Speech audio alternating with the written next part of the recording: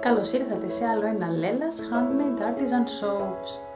Μια και στο προηγούμενο βίντεο μιλήσαμε για cupcakes, σήμερα θα κάνουμε σαπούνι cupcake. Πάμε να δούμε.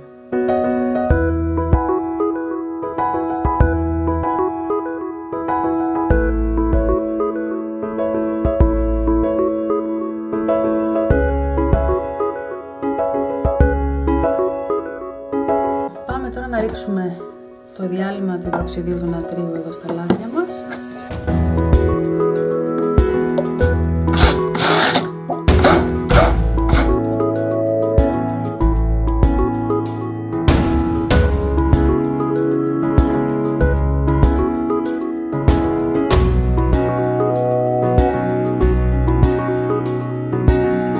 Λοιπόν, έχουν περάσει αρκετές μέρες η αλήθεια είναι που τα έφτιαξα αυτά.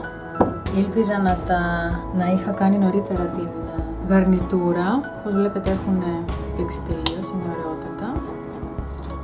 Η βάση είναι από μόνη της πάρα πολύ όμορφη, οπότε μπορείτε να φτιάχνετε και σαπουνάκια τέτοια σκέτα. Καλό είναι να μην αφήνετε τόσο μεγάλο διάστημα όπως και εγώ, δηλαδή καλό είναι να τα φτιάχνετε την ίδια μέρα και τη βάση και τη γαρνιτούρα.